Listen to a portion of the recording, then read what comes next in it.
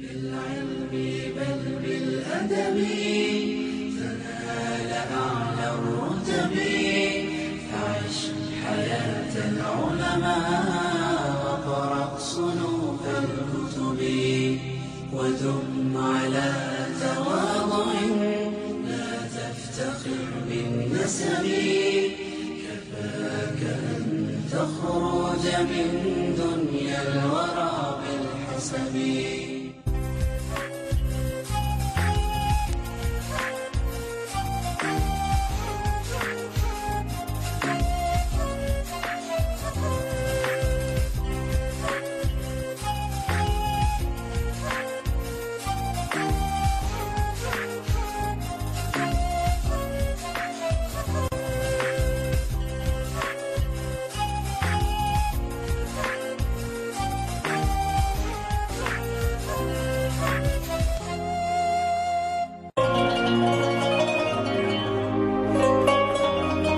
اليوم أقدم لكم أحدث أساليب الدعوة وأحدث أساليب البيع والترويج للإسلام ولأركانه في هذا العصر.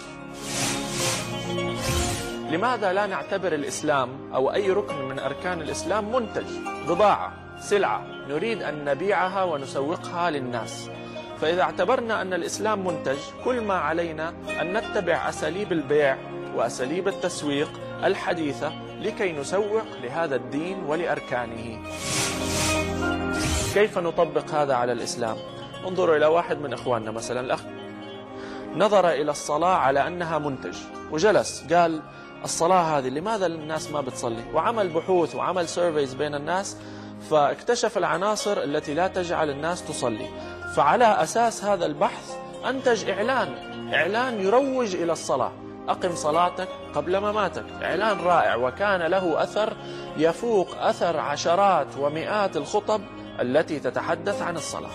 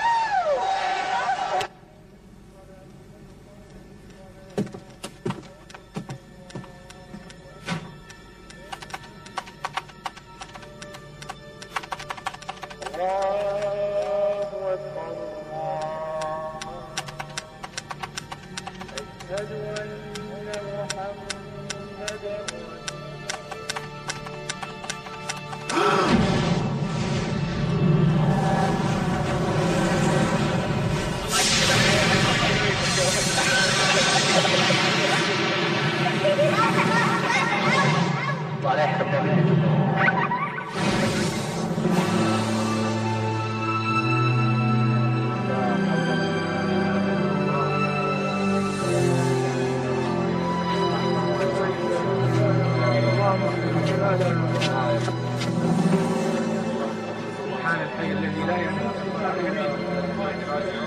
إلا لله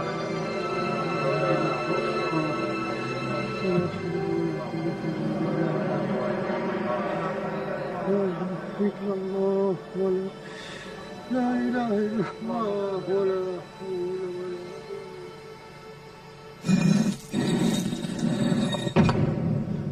كان أخوكم يسأل. اللهم ثبته عند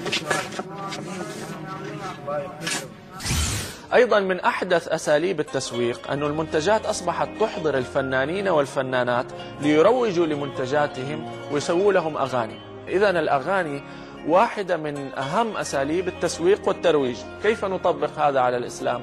نجد مثلا شخص مثل سامي يوسف. قدم لنا أغاني وروج الإسلام عن طريق الأغاني. جزاه الله خير. وروج لمنتجات عديدة. روج لحب الرسول عليه الصلاة والسلام. روج للحجاب ولطلب العلم ولغيرها من المنتجات عن طريق إنتاج أناشيد رائعة وفيديو كليبات مؤثرة.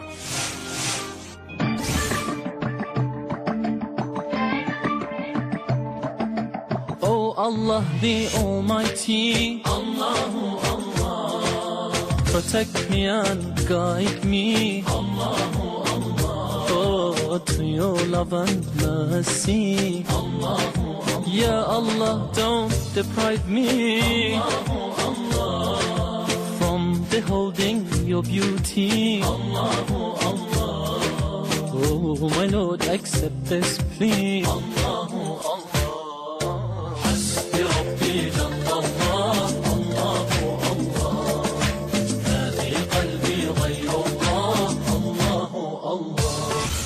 أيضا من الذين اعتبروا أن قيم الإسلام ينبغي أن تروج وقيم العمل. شركة عبد اللطيف جميل اعتبروا أنه الإتقان العمل منتج ينبغي أن يروج. الأعمال الحرفية مثل الحلاقة والسباكة وغيرها منتجات نريد أن نروج لها. فأعلنوا أيضا وأنتجوا إعلانات رائعة جدا لترويج قيمة العمل لدى الشباب المسلم. كان ممكن أقعد في البيت؟ واستنى الواسطة. لا شغلة ولا مشغلة كان ممكن أحط رجل على رجل وأخذ مصروفي من أبويا كان ممكن أضيع أوقاتي مع أصحابي.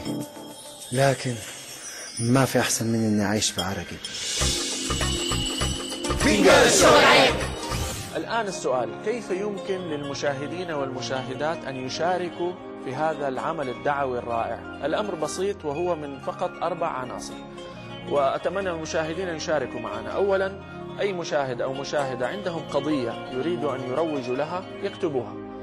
تريد أن تروجوا للصوم للزكاة لإتقان العمل. تريد أن تروجوا ضد أمور مثل الطلاق والكذب وغيره. أكتبوا ال- القضية. ثانيا في الموقع ثقافة دوت نت يوجد شركات التي تنتج مثل هذه الإعلانات. فما عليكم إلا أن تراسلوهم بالفكرة التي لديكم.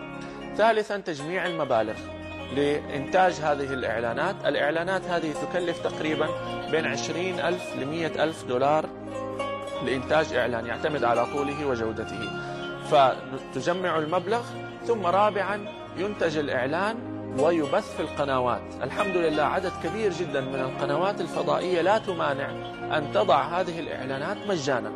أربعة عناصر يمكن لأي مشاهد وأي مشاهدة أن يتبنوها وأن يشاركوا معنا في الترويج للإسلام ولأركان الإسلام بأسلوب عصري وحديث وفعال جدا. ربي من لي غير